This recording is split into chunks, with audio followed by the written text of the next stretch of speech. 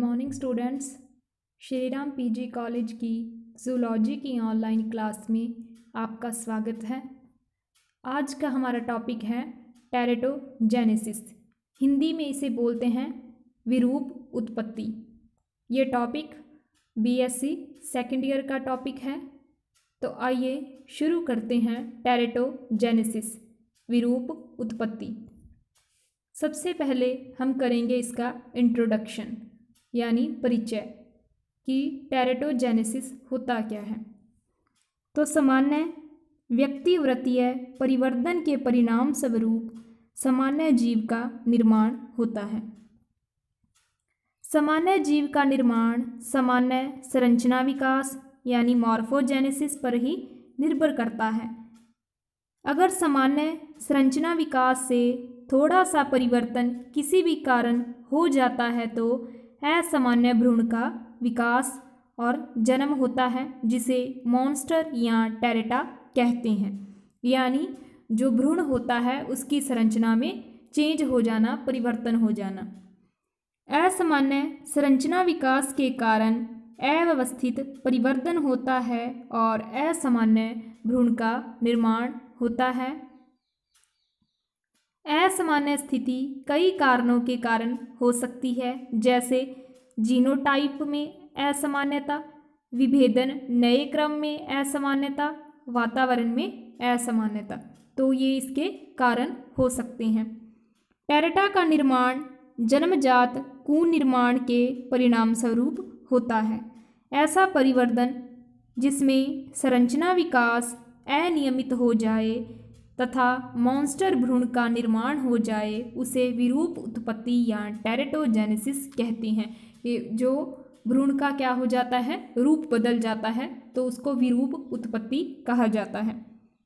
विरूप उत्पत्ति में विभेदन प्रक्रम भ्रूण में होता है, पर विभेदन अनियंत्रित होता है। विभेदन क्या चीज़ होती है? सेल का विभाजन होना। तो विभेदन अनियमित होता है मतलब जो सेल होती हैं वो सही तरह से विभाजित नहीं हो पाती या असामान्य संरचना विकास होता है, जिससे क्या होती है? जो संरचना होती है वो एबनॉर्मल हो जाती है, असामान्य हो जाती है और असामान्य भ्रूण का निर्माण हो जाता है।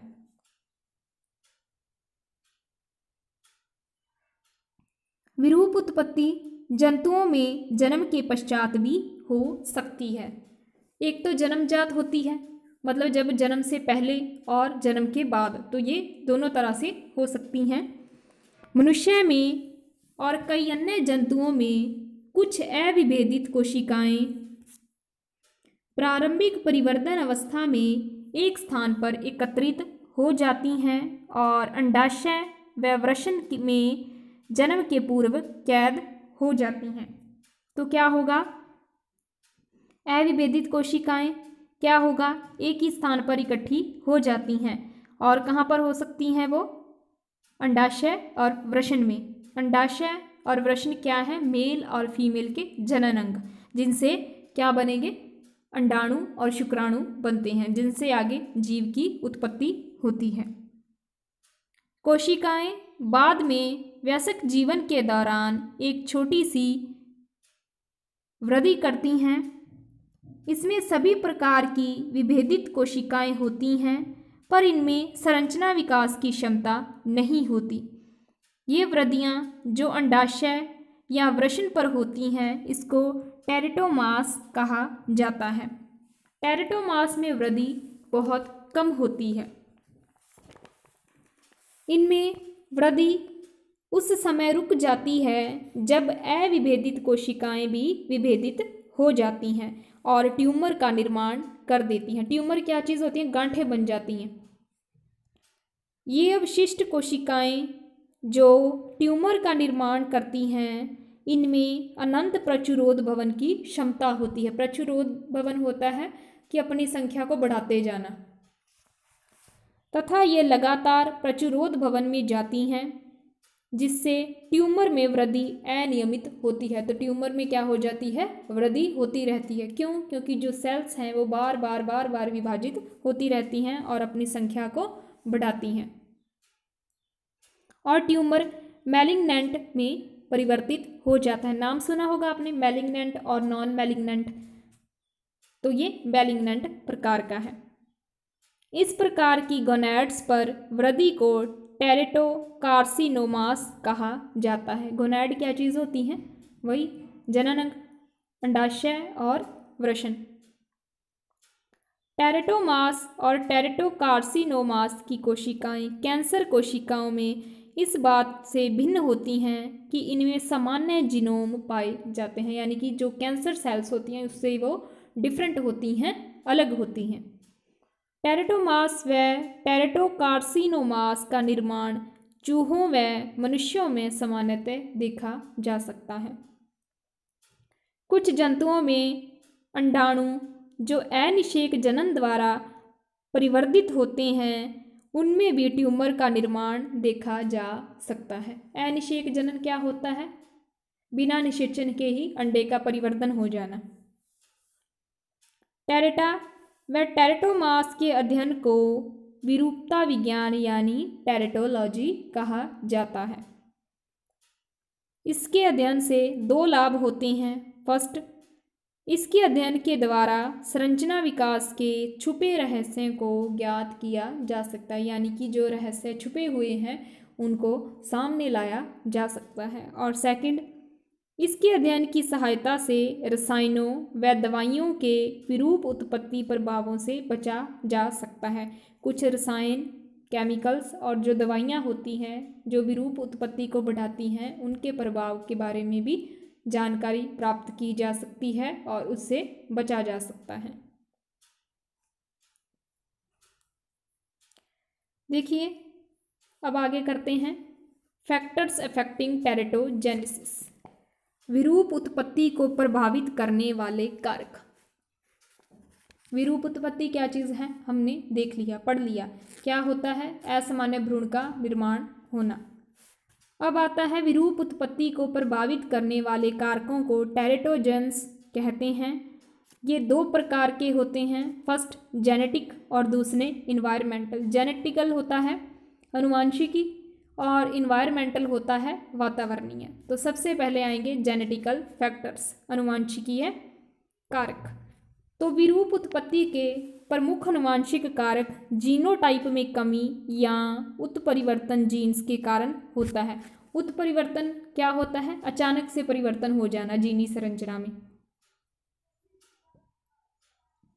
उपापचय की जन्मजात त्रुटियाँ हैं अनुवांशिक अनियमितता या जीन्स में कमी के कारण होती हैं। तो उपापचय की जो जन्मजात त्रुटियाँ होती हैं, वो अनुवांशिक अनियमितता के कारण भी हो सकती हैं या जीन्स में कमी के कारण भी हो सकती हैं। फ़र्स्ट आता है फैनिल कीटोन में है इंग्लिश में बोलते हैं इसको फैनिल कीटोनूरिया तो मनुष्य में फैनिल कीटोन्यूरिया फैनिल पायरुविक अमल के संग्रहित होने के कारण होता है। वह इसमें मानसिक असंतुलन हो जाता है। मानसिक असंतुलन यानी कि जो मस्तिष्क होता है, वो सही ढंग से काम नहीं कर पाता। यह रोग अप्रभावी जीन के कारण होता है और इसका जो सदोष जीन होता है, वो पीपी के कारण होता है। Small p p. फिर आता है डाउन सिंड्रोम। डाउन सिंड्रोम नाम सुना होगा। तो यह अलिंग सूत्रों, ऑटोसॉम्स में मिलने वाली एकादि सूत्रता है। और इसमें कुल छियालीस गुणसूत्रों के स्थान पर गुणसूत्रों की संख्या सैतालीस हो जाती है। देखिए, जो क्रोमोजोम्स होते हैं, गुणसूत्र होते हैं, दो तरह के होते हैं। एक तो अलिंग सूत्र और दूसरे लिंग सूत्र। अलिंग सूत्र होते हैं ऑटोसोम्स फोर्टी फोर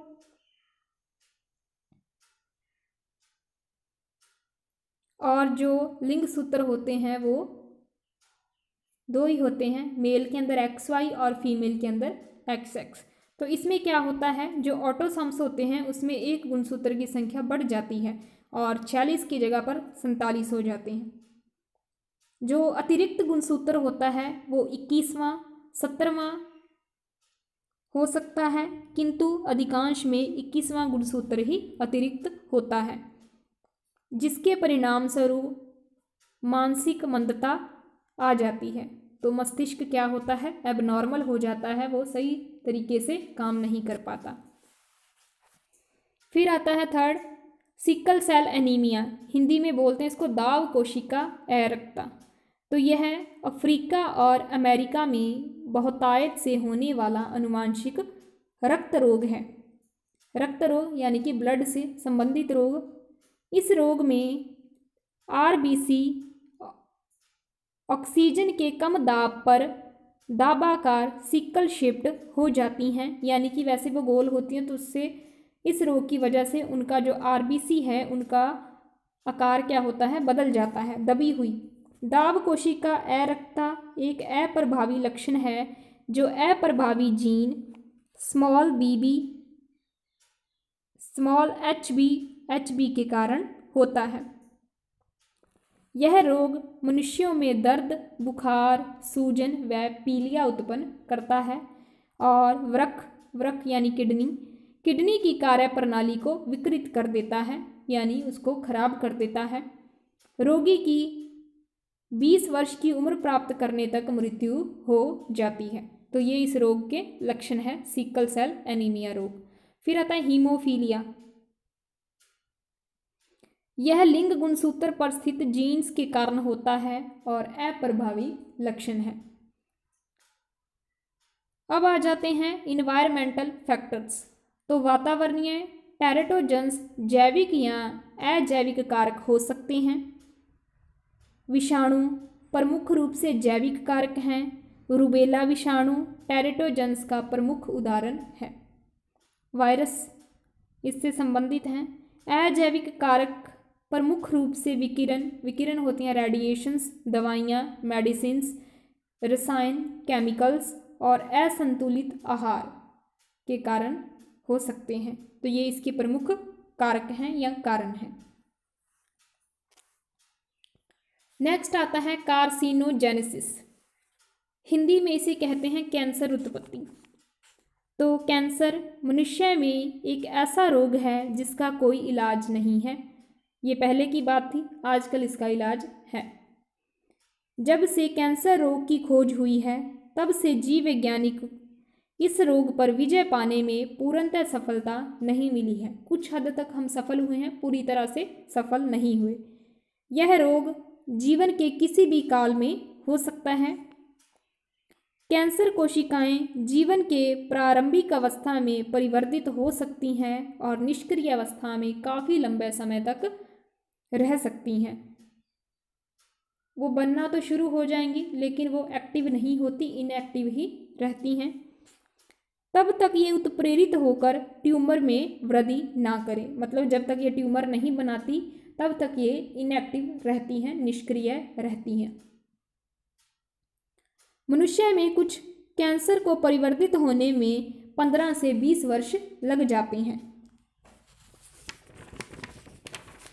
कैंसर अधिकतर कशेरुकियों में पाया जाता है और इनका जीवन काल अधिक होता है। उन कशेरुकियों में ये अधिक पाया जाएगा जिनकी आयु लंबी चलती है जीवन काल अधिक होता है। अकशेरुकियों में कैंसर बहुत कम देखा जाता है। कीटों में कैंसर उत्पत्ति नहीं देखी गई तो इंसेक्ट जो होते हैं, उनके अंदर कैंसर नहीं होता। कैंसर ट्यूमर की उत्पत्ति को कैंसर उत्पत्ति कहते हैं, यानी कार्सिनोजेनेसिस कहते हैं। तो ट्यूमर की उत्पत्ति होना मतलब कैंसर उत्पत्ति होना। कशेरुकियों में कैंसर ट्यूमर का निर्माण किसी भी अंग में हो सकता है और कैंसर ट्यूमर को निम्न प्रकार बांट सकते हैं। अब आ जाते हैं उसके प्रकार। सबसे पहले कार्सिनोमा इन एपिथीलिया।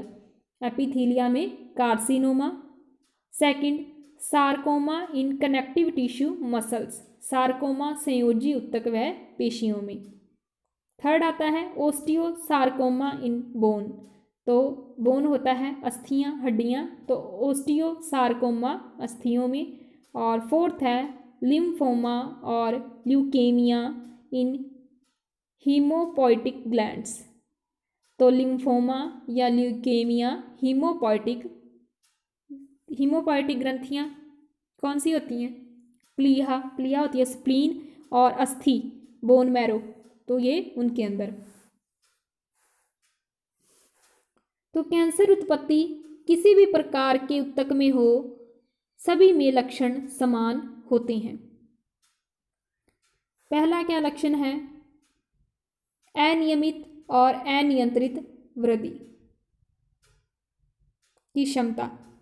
जो कि अनिश्चित प्रचुरोध भवन की क्षमता यानी कोशिका विभाजन के कारण होती है। तो क्या होता है कि ट्यूमर में अनियंत्रित वृद्धि होती है। ट्यूमर की जो संख्या है, वो बढ़ती जाती है। नेक्स्ट, कैंसर लक्षणों के अनुवांशिक गुणों की क्षमता जो पुत्री कोशिकाओं में स्थानांतरित किए जाते हैं। यानी जो कैंसर के लक्षण हैं, वो अनुवांशिक हैं तो एक से दूसरे में चले जाते हैं। ट्यूमर कोशिकाओं में गति की क्षमता होती है और ये उत्पत्ति के स्थान से अन्य स्थान की तरफ़ चली जाते हैं, यानी कि शरीर के जिस अंग में ट्यूमर बना है, ज़रूरी नहीं कि उसी अंग में रहे, वो दूसरे किसी अंग में जा सकते हैं। तो इसमें माइग्रेशन की पूरी, इसको फ्रीडम होती है तो अलग स्थान पर जा सकते हैं। नए प्रपोशी में स्थानांतरण की क्षमता तो वो एक प्रपोशी से दूसरे में भी जा सकते हैं। अब आता है फैक्टर्स ऑफ़ कार्सिनोजेनेसिस तो कैंसर उत्पत्ति के क्या कारण हो सकते हैं? इसकी उत्पत्ति अचानक हो सकती है। मतलब कोई श्योर नहीं है कि इसी वजह से हो या ऐसे ही हो, ये कभी भी हो सकता है।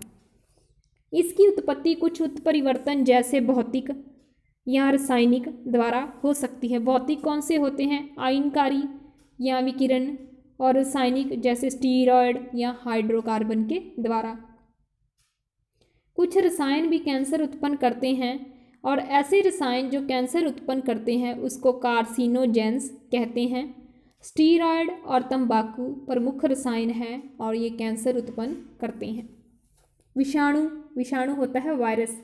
वो कैंसर उत्पत्ति के लिए उत्तरदायी हैं। बिटनेर विषाणु, चूहों में, व सीमियन विषाणु मनुष्य में कैंसर उत्पन्न करता है। विषाणु के जीन्स ऑनकोजीन्स परपोशी के शरीर में प्रवेश करने के बाद परपोशी के जिनोम पर जुड़ जाते हैं और अनुवांशिक सूचना में परिवर्तन कर देते हैं। ट्यूमर वृद्धि का एक अन्य कारण वातावरण भी होता है। सूर्य के प्रकाश में अल्ट्रावायलेट किरणें आयनकारी विकिरण होती हैं, जो त्वचा कैंसर उत्पन्न करती हैं। तो यूवी किरणों की वजह से भी त्वचा का कैंसर हो सकता है। मनुष्य अपनी विभिन्न गतियों, विधियों के द्वारा कैंसर उत्पन्न करता है। मनुष्य द्वारा उत्पन्न प्रदूषण निश्चित रूप से कार्सिनोजेनिक प्रभाव उत्पन्न करते हैं। इसमें प्रमुख है रेडियो सक्रिय पदार्थ, कोल, धूल एसबेस्टॉस व उद्योगों से उत्पन्न पॉलीविनाइल उत्पाद। तो ये सारे क्या काम करते हैं? कैंसर उत्पन्न करने का कारण बनते हैं। इसके अलावा सिगरेट के हाइड्रोकार्बन्स तो सिगरेट की वजह से भी कैंसर होता है। त्वचा और यकृत का कैंसर प्रमुख रूप से इनके द्वारा होता है। त्वचा स्किन का और यकृत होता है लीवर का, क्योंकि जो चीज़ें हम खाते हैं, वो चीज़ें सीधे हमारे लीवर पर इफ़ेक्ट करती हैं तो लीवर का कैंसर भी इसके द्वारा हो सकता है। तो ये थे कारण कि किन किन वजह से कैंसर उत्पन्न होता है।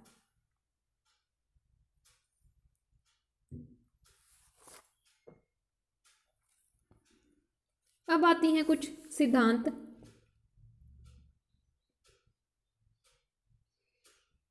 तो कैंसर उत्पत्ति को समझने के लिए कई सिद्धांत दिए गए हैं। अब वो उन सिद्धांतों को देखते हैं। फ़र्स्ट जो फ़र्स्ट आता है वो है सोमैटिक म्यूटेशन हाइपोथेसिस हिंदी में कहते हैं इसको कायिक उत्परिवर्तन परिकल्पना। फिर दूसरी वायरल ट्रांसफॉर्मेशन हाइपोथेसिस विषाणु ट्रांसफॉर्मेशन परिकल्पना। थर्ड ऑनकोजीन हाइपोथेसिस ऑनकोजीन परिकल्पना।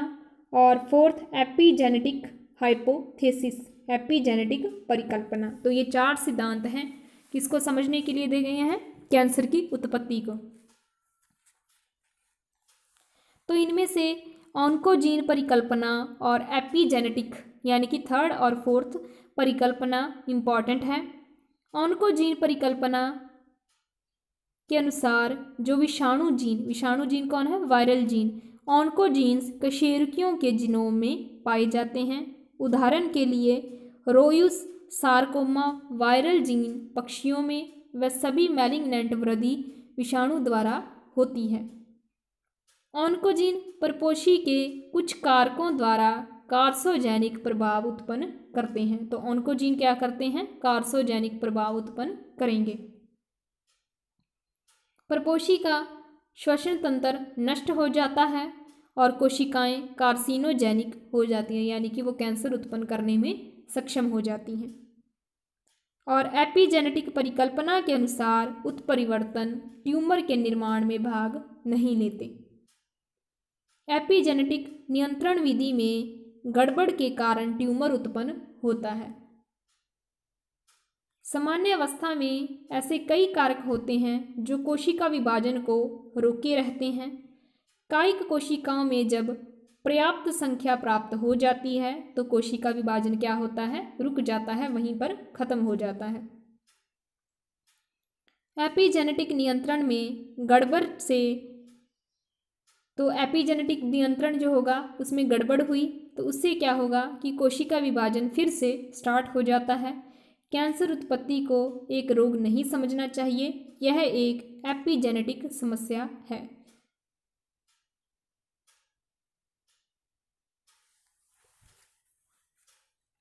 तो ये थे थ्योरीज किसको समझने के लिए कैंसर उत्पत्ति को समझने के लिए। अब आते हैं इसके ट्रीटमेंट ट्रीटमेंट क्या चीज़ होती है? तो जो ट्यूमर कोशिकाएँ हैं, उनका इलाज। तो उनका इलाज दो विधियों से करते हैं। फर्ली जो फ़र्स्ट आती है, वो आती है biosomatic cell hybridisation technique Hindi में बोलते हैं इसको कायिक कोशिका संकरण तकनीक। तो इस विधि द्वारा क्या होता है? ट्यूमर कोशिका और सामान्य कोशिकाओं का संकरण संकरण का मतलब हाइब्रिड संकरण कराकर फिर से सामान्य अनुवांशिक सूचनाओं को प्राप्त करना चाहिए, यानी कि ट्यूमर कोशिका और जो नॉर्मल कोशिका है, दोनों का संकरण करा दिया और फिर से क्या होगा, सामान्य अनुवांशिक सूचना को प्राप्त करना चाहिए। दूसरा by control on unlimited cell division तो अनियमित कोशिका विभाजन पर नियंत्रण द्वारा। क्यों? देखिए, जो कैंसर होता है, वो कोशिकाओं का बार बार विभाजन होने से होता है। तो अगर उस विभाजन को ही रोक देंगे तो भी इसका ट्रीटमेंट किया जा सकता है। तो ट्यूमर कोशिकाओं में अनियंत्रित कोशिका विभाजन होता है। अतः कुछ कारकों की सहायता से इस अनियंत्रित कोशिका विभाजन पर नियंत्रण प्राप्त किया जाता है। कई रासायनिक यानी रसायन ज्ञात किए जाते हैं, जिनके द्वारा कैंसर कोशिकाओं से क्रिया कराकर कोशिका विभाजन को रोका जा सकता है। वैज्ञानिक कैंसर के टीकों की खोज के लिए कई प्रयोग कर रहे हैं। वे बहुत कुछ सफलता प्राप्त की गई है और आशा है कि शीघ्र ही कैंसर के टीके खोज लिए जाएँगे और इस रोग पर सफलता प्राप्त कर ली जाएगी। तो पूरी तरह से क्या होगा कि हम इस रोग पर कंट्रोल कर सकते हैं। आजकल बहुत सारे इलाज चल पड़े हैं। जिनकी वजह से क्या होता है भी कैंसर को स्टार्टिंग स्टेज में हैंडल किया जा सकता है। अगर शुरुआती स्टेज में हमें पता लग जाए कि कैंसर है तो उसका इलाज किया जा सकता है। लेकिन अगर ज़्यादा हो गया लास्ट स्टेज में पहुँच गया या सेकंड लास्ट में होता है तो कैंसर को कंट्रोल नहीं कर सकते।